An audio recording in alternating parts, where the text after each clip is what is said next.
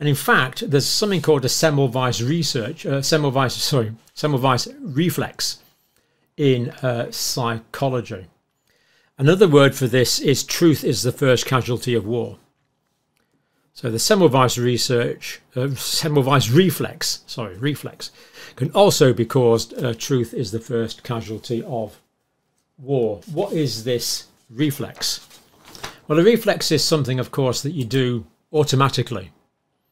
You know, you touch something hot and you pull your hand away. It's a reflex. What is this Semmelweis reflex? Well, it's a psychological phenomena uh, of rejecting new or novel ideas. So new or novel ideas are tend, tend to be rejected out of hand without consideration. Uh, the Semmelweis reflex is rejection of anything that contradicts established norms, beliefs, or paradigms of thought, even if the new ideas are well supported by the evidence. So, what new ideas do we have? that are well supported by the evidence but are somewhat inconsistent with previous thinking? Are these rejected a priori? If so, this is the Semmelweis reflex. This is the problem. Things are being rejected without consideration via the Semmelweis reflex.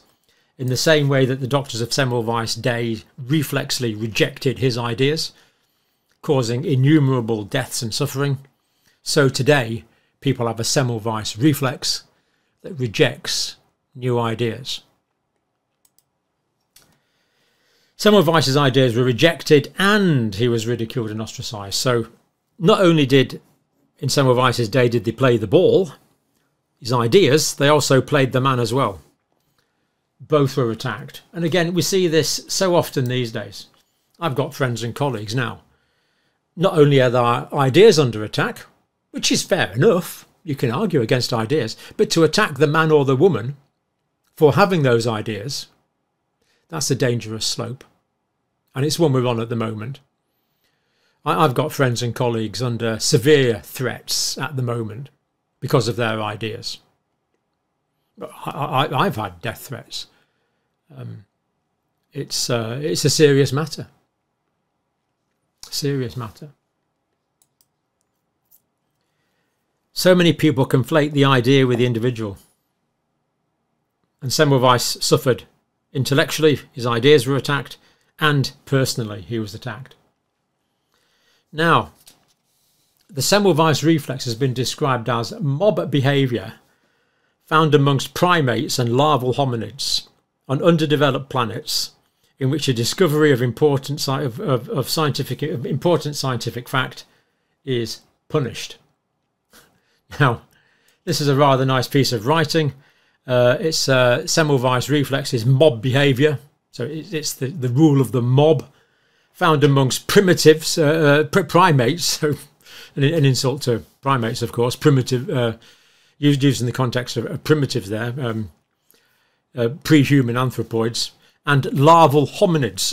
now that's a, a, very funny turn of phrase. Um, of course, a larva is like a like a tadpole would be a larva of a frog, or um, um, is that right? Tadpoles and frogs, yeah, or, or, or uh, a caterpillar would become a, as the larva of a butterfly.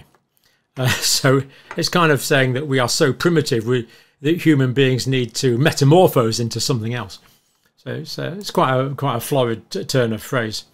On underdeveloped planets, in which a discovery of important uh, scientific fact is published, and that was uh, said by a Harvard psychologist called Timothy Leary, who you may have heard of from the Pink Floyd song.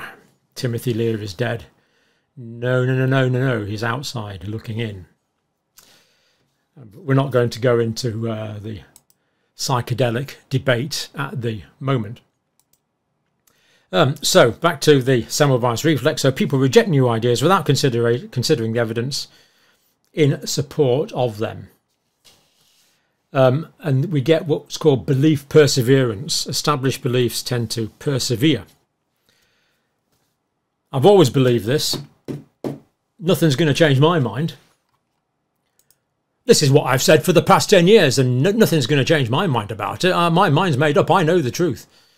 This is the sort of belief perseverance fallacy that uh, Semmelweis and his or Semmelweis's uh, contemporaries were labouring under, and to an extent we labour under today, uh, suffer under today uh, as well.